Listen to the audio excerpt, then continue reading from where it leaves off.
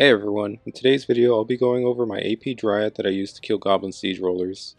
The main reason I personally use the AP Dryad as my Siege Roller killer is because of her ability to fly in the air and able to cast her abilities to deal damage to them without having to worry about the Siege Roller or other enemies nearby to target my character while in the process of getting rid of them.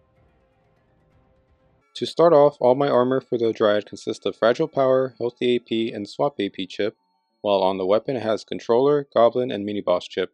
You will want to have Godly Crit Chance on all your pieces. Siege Rollers are classified as both Goblin and Mini Boss, so these two mods will increase the damage they take. The Dryad with her Purified Mushrooms ability provides a slowing effect to enemies, so this would proc the controller chip for the extra damage. Not only do these mushrooms help with triggering the controller chip, they also help with the fact that more of the corrupted stars will deal damage longer since they leave an area of effect damage source for a few seconds after impact, that would help deal damage against rollers as the roller's weak spot will take damage from them as long as they are close enough. The slowing effect of the mushrooms can also stack on top of each other so you can throw a few mushrooms down to slow the roller even more if you wanted to. Celestial Attunement increases the max amount of stars that a Dryad can hold from 3 to 9, allowing you to place down more purified or corrupted stars faster, to regen your ability resource or do more damage faster against enemies. Corruption's Embrace increases the Starfall ability damage by 52%. Inspiration to decrease the time it takes for Starfall to regenerate stacks. On Gloves, Critical Strike increases your crit chance by 14%. Critical Empowerment increases your crit damage by 20%. Longshot increases your damage by up to 30% based on how far away you are from the target. This shard is based on the character's distance to the enemy, so even though you place an ability like Starfall right near the enemy, it will take account the damage bonus by how far you are at from the enemy instead, so the Dryad flying in the air would count for the distance damage bonus it provides.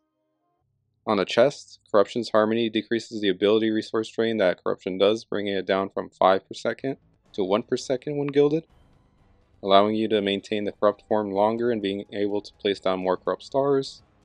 Coup de Grace increases your crit damage by 50% but reduces crit chance by 6%, Mage Gambit increases your ability power by 58%, while increasing your damage taken by 12%.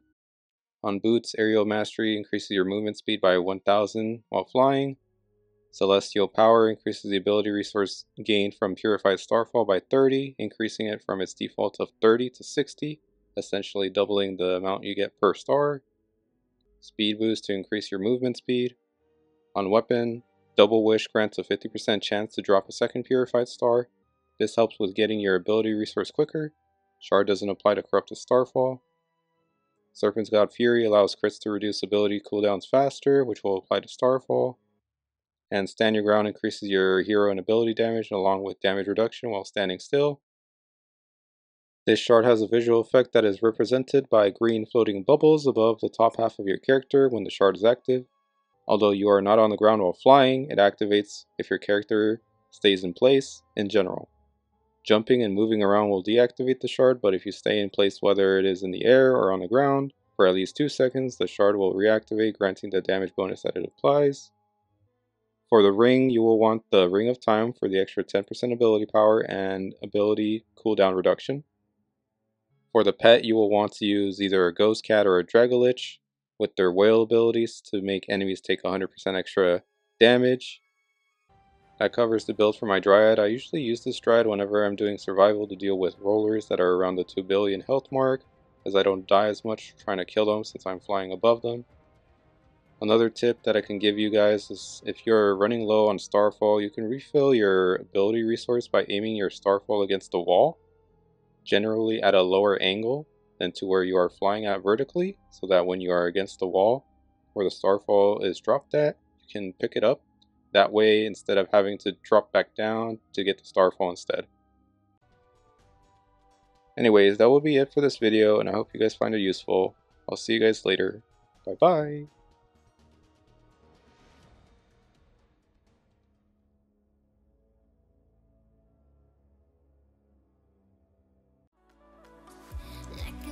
taking over, it's burning. You're so stuck in your head, think I'm leaving.